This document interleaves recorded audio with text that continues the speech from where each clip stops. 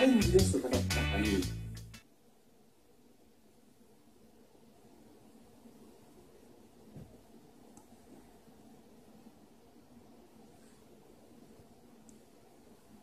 さあ冒頭の2種類の4回転に注目です。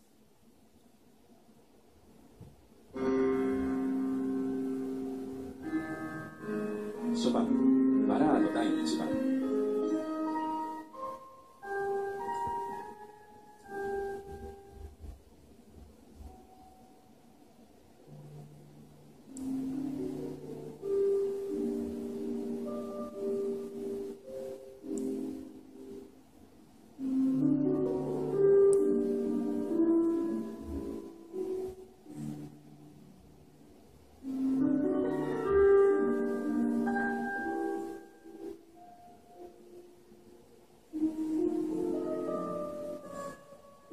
4回転サルコー決まりましたね。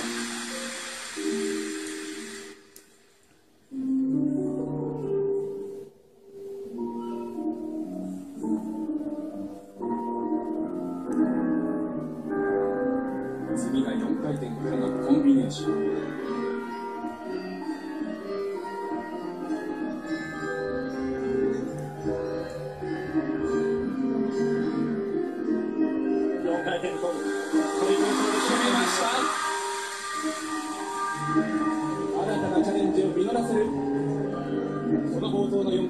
Thank you.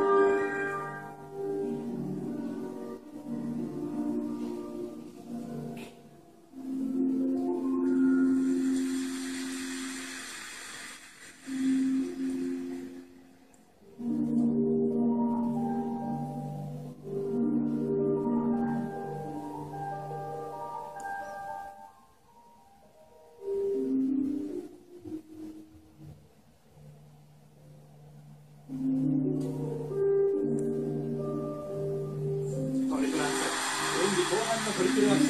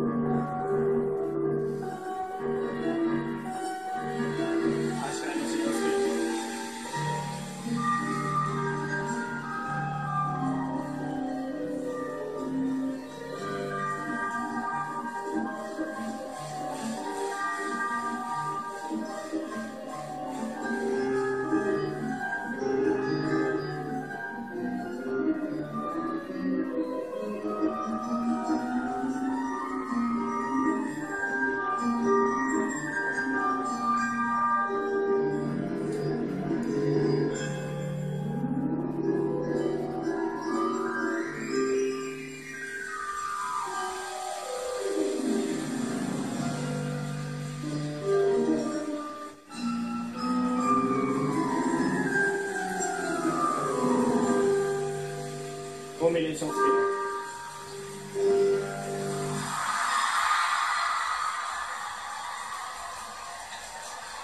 素晴らしい演技でした。羽生結弦ありますので、やはりジャンプだけでも50点超えてくるプログラムになっていますし、コンポーネンツが高い評価を得る選手ですので、やはり100点超えて、新しい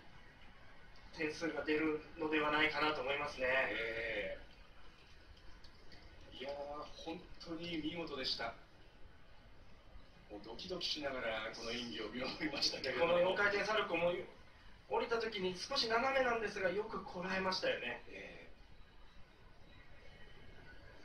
あのオリンピックで出した最高の得点101.45。そしてこの4回転通る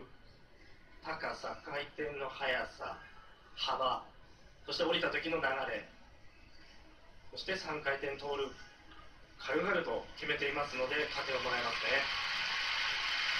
さあ、どんな得点が出るのか楽しみに待ちましょう。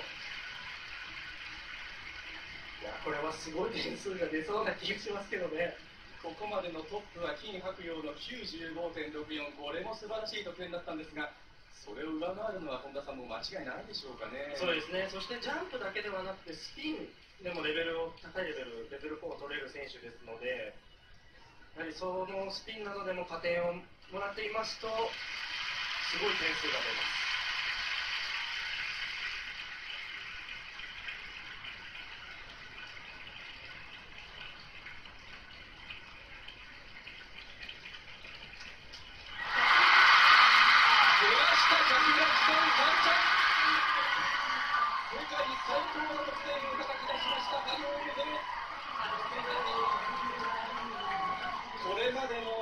のそのベスト最高の得点を5点ほど上回ってきました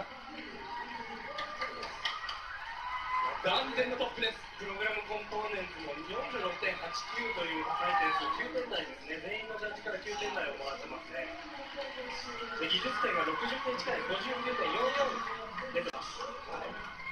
平年は演技を終えた羽生結弦選手です。ものすごい得点が出ましたね。そうですね、まあ、でもあの一生懸命やったんで、まあ、まず点数よりも、まあ、まずこの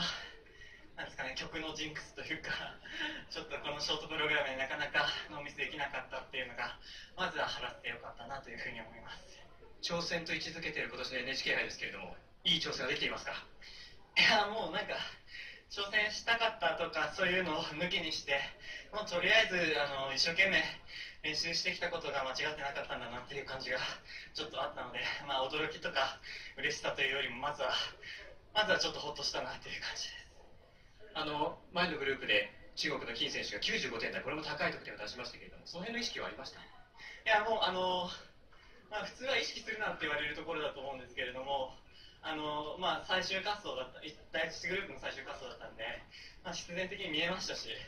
お絶対抜かしてやるぞって見てるよって思いながらやってましたそれをちゃんと力に変えましたね。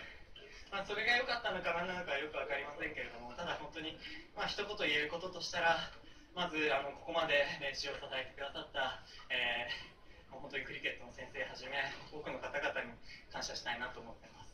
明日のフリーに向けても一言お願いします。そうですねまだ終わったば終わったばっかりですけれどもしっかり気持ちを切り替えて明日に向けて明日こそ大切なフリーなので頑張りたいなと思いますお疲れ様でしたあ。りがとうございました羽生選手でした。